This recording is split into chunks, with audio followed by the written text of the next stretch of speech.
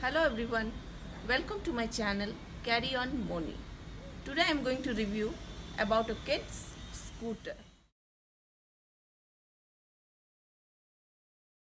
Miss Chief colorful graffiti LED wheel kids scooter which I recently bought from Flipkart for my son. This four-wheeler scooter is designed for kids from 3 to 10 years old. It comes with LED light which is easily managed by kids. The front frame wheels are designed in a way that kids can have a perfect balance when going forward and turning. There are three adjustable height which makes the product viable for kids of different age group.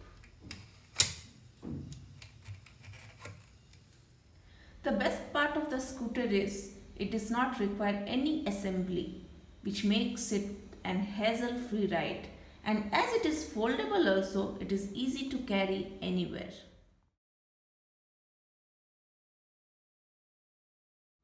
It's a perfect gift for our little ones. My kid loved it a lot.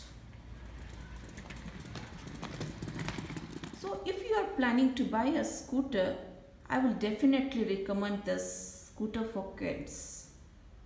I have added the link in the description box. If you want to buy it, please go through it. I hope this video is useful for you.